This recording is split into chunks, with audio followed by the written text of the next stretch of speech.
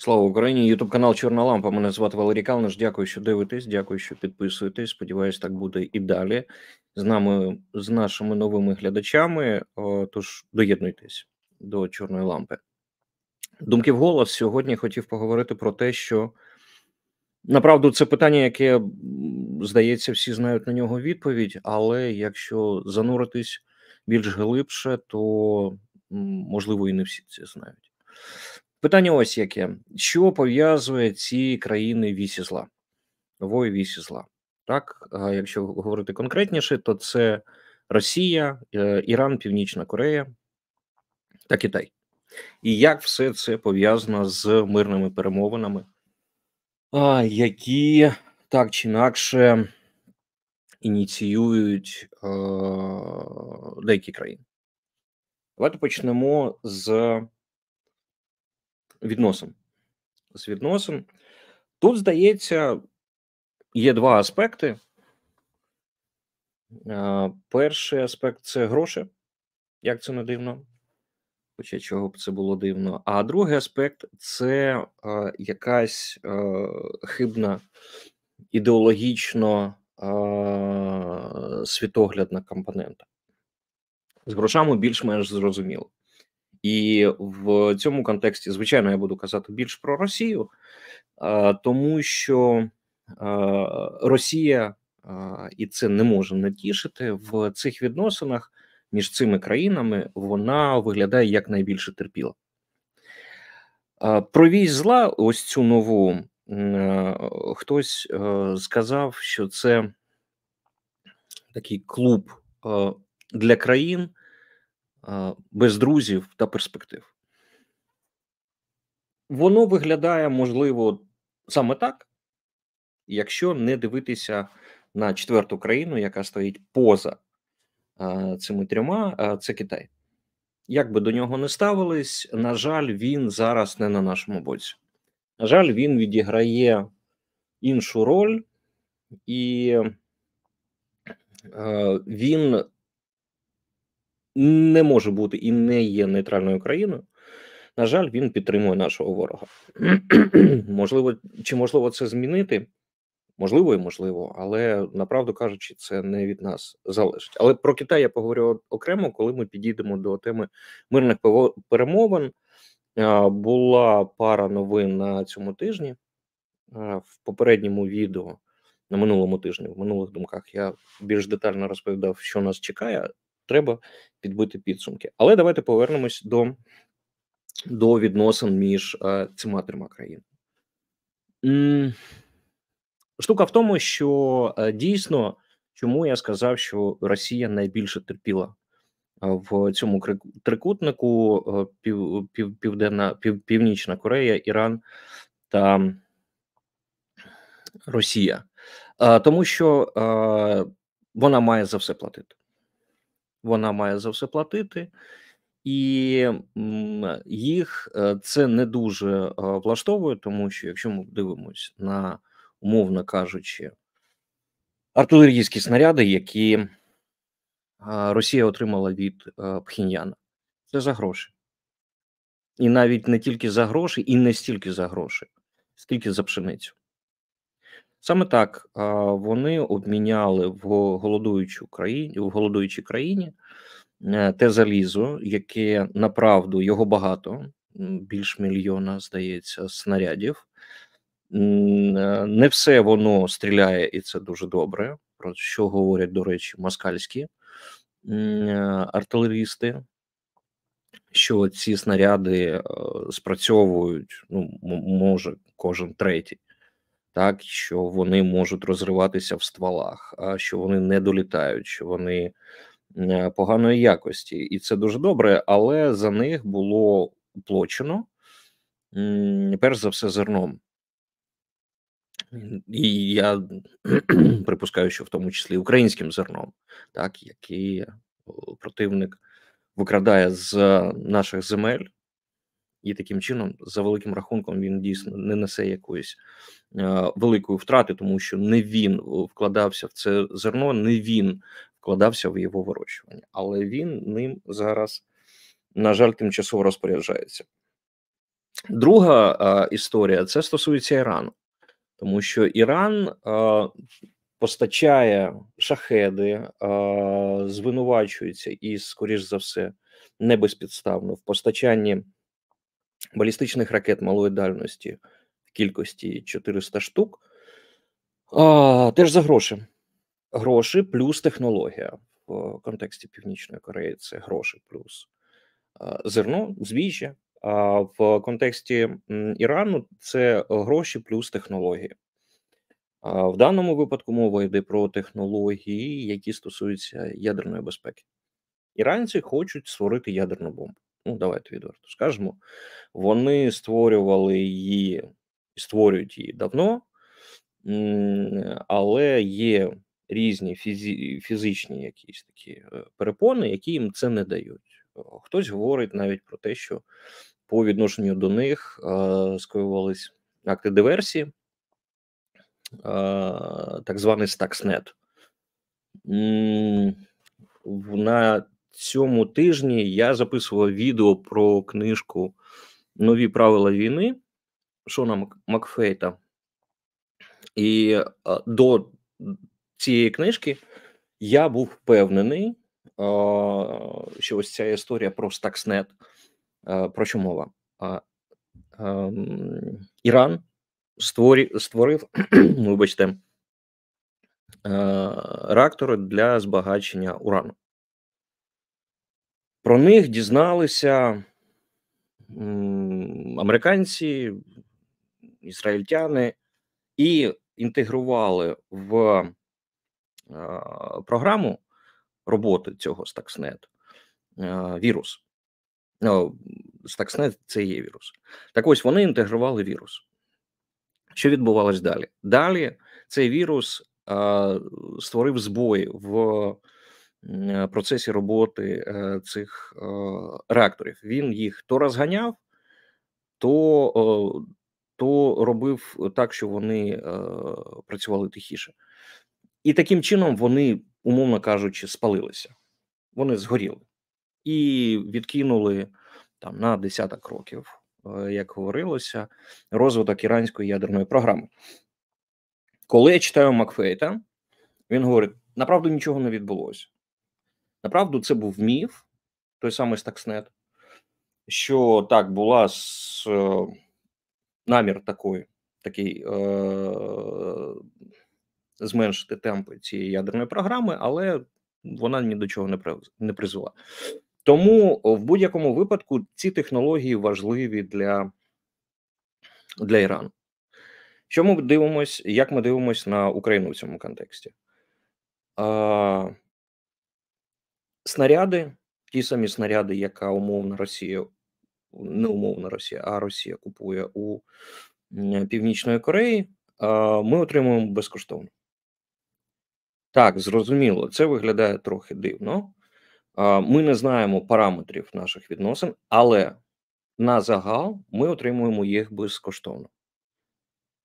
Скоріше за все, нам пред'являть чек після війни, але не той чек, про який можливо варто думати, в тому сенсі, що прийдуть якісь бухгалтери і скажуть: так, ось ми вам заплатили стільки, стільки, стільки. Ми вам дали стільки, стільки, стільки. Будь ласка, давайте нам ці гроші. Звичайно, так не буде. Але ті країни, які зараз допомагають Україні, вони е, зокрема розраховують на те, що під час відбудови е, ті компанії, ці і ті країни, які допомагали найбільше, вони будуть мати пріоритетне право е, заходити для розбудови і для відновлення України. За даними Bloomberg, е, цей план по відбудові він вже зараз десь затягує на 1 трильйон е, доларів. І це велика історія. Е, для України це добре, тому що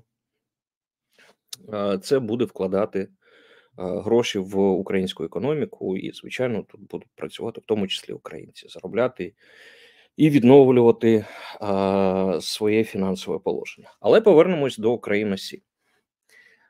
Ось цієї так.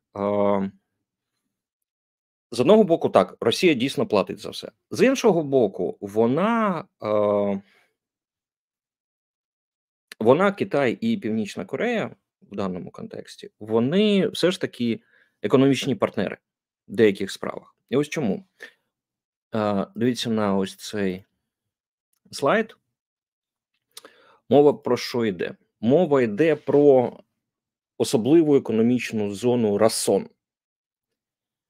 А, Ось бачите, Расон, Free Trade Zone, вона знаходиться на кордоні Північна Корея, трохи вище Росія, а трохи лівіше Китай. І це така собі зона, це такий осередок капіталізму в Північній Кореї. Туди заходять фінансові корпорації.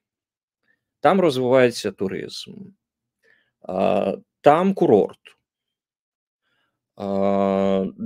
Ну, Він не зв'язан. Ось, е, ну, наприклад, якщо людина, наприклад, американець, можливо, і таке до речі, тому що аби потрапити в Расон, не треба мати візу, треба мати запрошення безпосередньо відвідати Расон.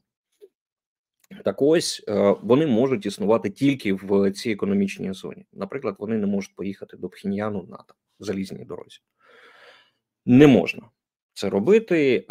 Тобто вони заходять і там ну така Потьомкінська деревня з одного боку, з іншого боку, е, коли це вільна економічна зона, то ті санкції, які діють, наприклад, проти Північної Кореї, але не працюють проти або не введені проти Росії, е, то е, на цій території, в цій юрисдикції, це можна вирішувати, буквально створюючи окремі підприємства, окремі компанії, які будуть займатися проведенням якихось фінансових операцій буквально на одній на одній вулиці, де сконцентровані компанії трьох країн і можна так вирішувати. Тому це також важливий е, момент е, з співпраці. Далі. Е, з Расоном більш-менш зрозуміло, що стосується ще грошей. Брік. Країни, які створили, ну, зокрема, говоримо, Брік Зараз у нас це Бразилія, Росія, Індія, Китай.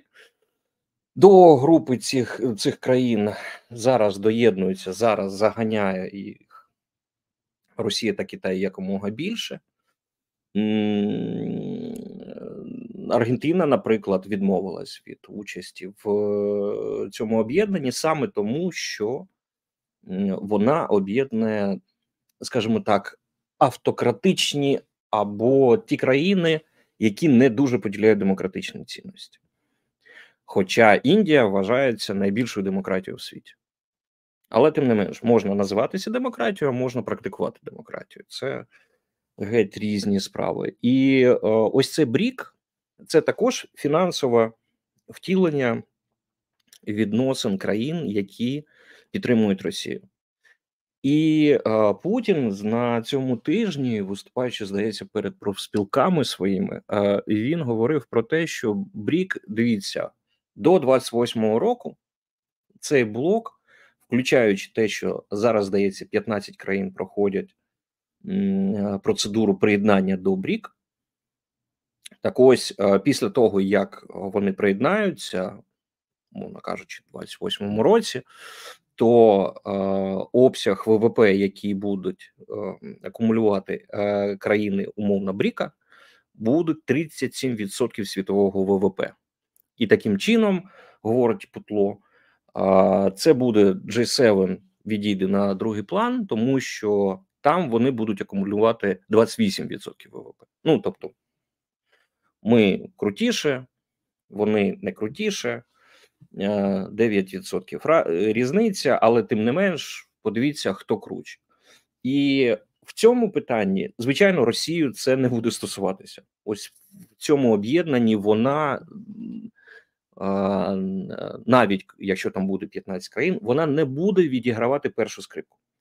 Це буде країна, яка не країна-донор, не країна-драйвер, так, а країна, яка зайняла а, бік сильного, яка сама втратила свою суб'єктність фінансову, економічну, технологічну, якщо вона її мала взагалі, але вона буде на боці е, переможця, умовно кажучи. Ну, якщо ми говоримо про ті самі 37-28%. Так потім вони можуть рахувати як завгодно. Вони можуть рахувати кількістю населення, вони можуть рахувати. Е, кількістю патронів, кількістю зброї, все що завгодно, і вони будуть демонструвати, що дивіться, наше об'єднання воно сильніше, воно є ваше об'єднання, так навіть без участі в якихось безпосередніх військових е, діях, і Росію це задовільняє. Росію це задовільняє. Вона може тільки своїм е, людям розповідати про окрему цивілізацію, про окрему якусь там країну, яка драйвує, яка унікальна в світі, і все таке інше. А направду вони зголошуються на статус регіональної країни, вони ховаються в тіні Китаю і спокійно собі там існують рівно до тих пір, поки вони не заважають Китаю. Тому що раніше Росія намагалась гратися з Західним світом, а потім вона зрозуміла, що вона не дотягує ані по жодному критерію ані по культурному, ані по економічному, технологічному, військовому не дотягує, і вона не хоче туди йти, бо там треба працювати. А і вона пристала на бік Китаю, тому що там працювати не треба, там треба віддавати тільки е, сировину і підмахувати, коли е, треба під час якихось там е, міжнародних заходів. І це для Путіна нормальна така перспектива. так? І ось це і є економічним підґрунтям, яке об'єднує всі ці країни. Вони диктаторські, вони не не модернові, вони не працюють на своїх людей, вони не працюють на майбутнє, вони працюють на вузьку таку слой тоненький цих е, диктаторів. Вони працюють тільки на власне збагачення, вони е, вирішують свої питання з населенням через брехню, через фейки, і з того раді. Ну і звичайно, великі репресивні е, інструменти, які є в кожній країні, е, чи то поліція, чи то армія, неважливо. Важливо, що там людей просто заганяють і використовують як стада для того, щоб вони задовільняли інтереси ось цієї правлячої верхівки.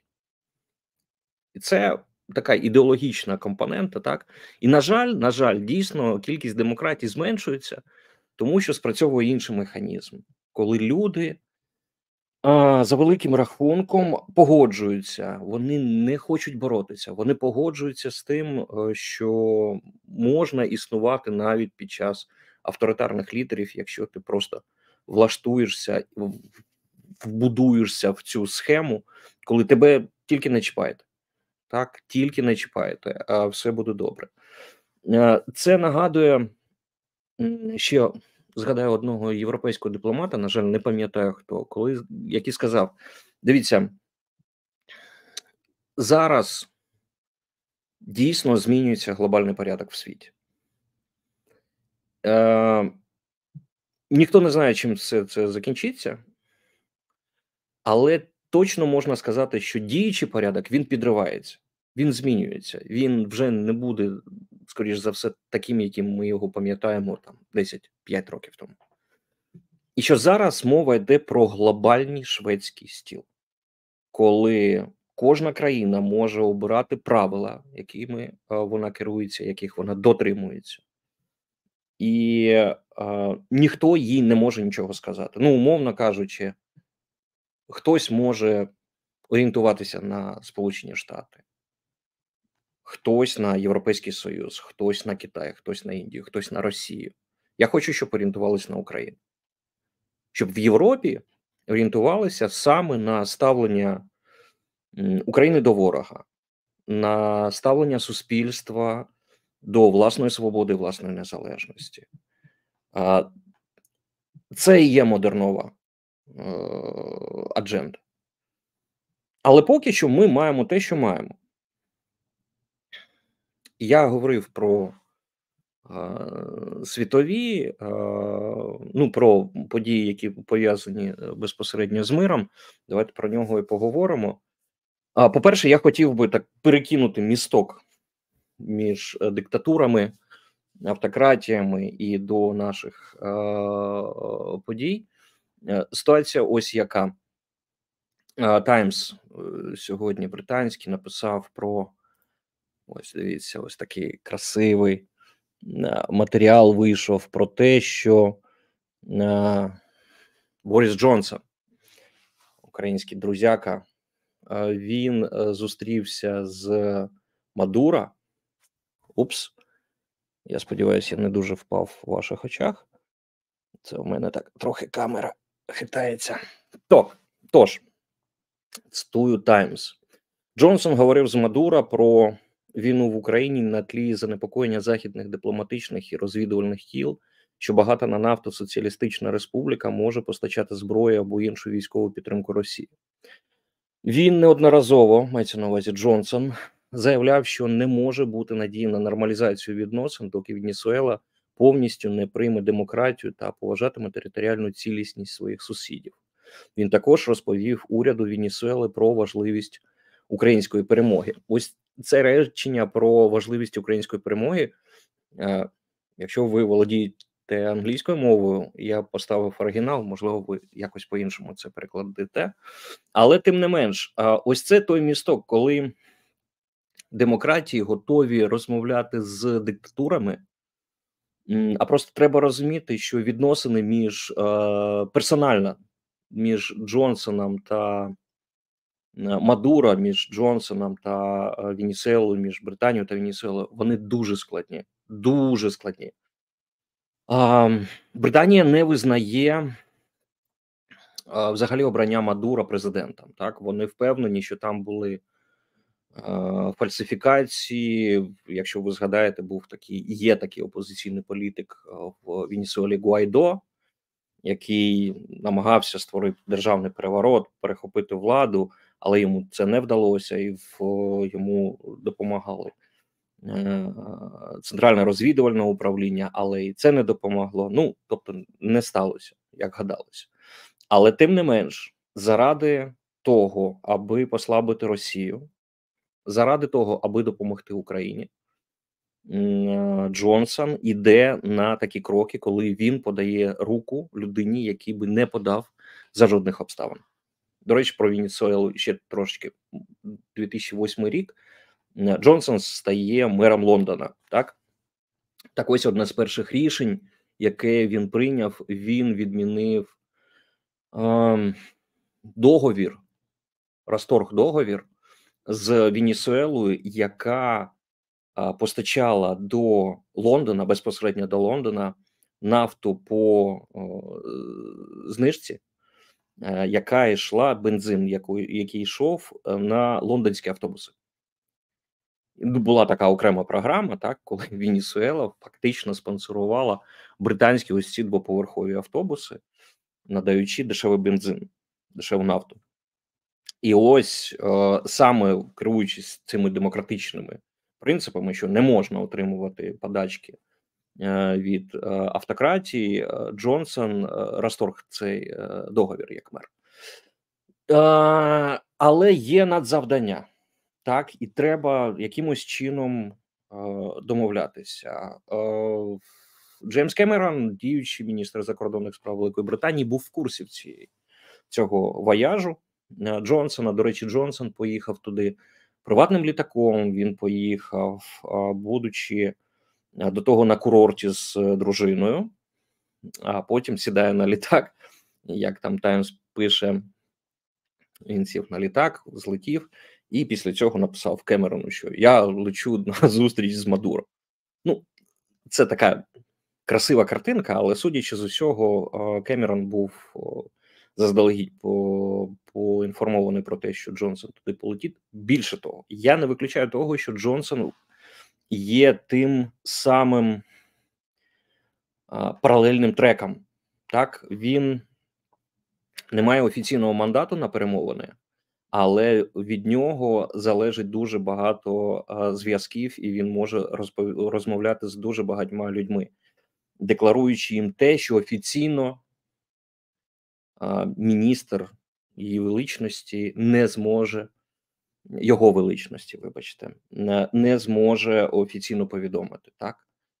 Те саме завдання виконує зараз, наскільки я розумію, Роман Абрамович для Путіна, коли це конфідент, це канал зв'язку, як би ми до нього не ставилися. І ось Джонсон виконує ці місії, тому що о, Британія, яка офіційно не визнає Мадура президентом країни, не може встановлювати зв'язки. Там навіть у них зменшене представництво. Там є в Каракасі е, амбасада, але немає посла.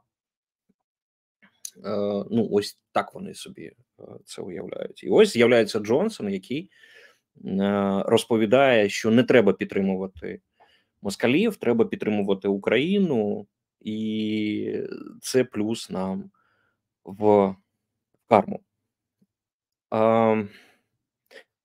І коротко про те, що відбулося з цими мирними угодами. Ну, давайте почнемо з це повідомлення Укрінформа. Китай таки завершив той візит Ліхвей, покатався по Брюсселю, Києві, Києву та Москві. Направду, якихось новин великих немає.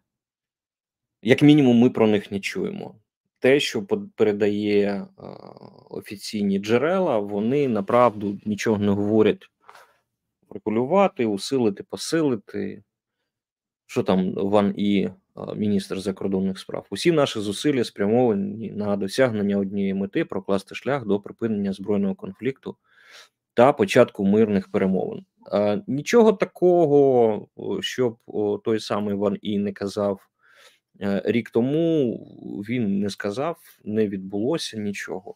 Так, вони отримали, я маю на увазі китайців, вони отримали інформацію з нашої точки зору, нашу точку зору вони почули. Вони почули російську точку зору, але повертаючись до того, з чого я починав,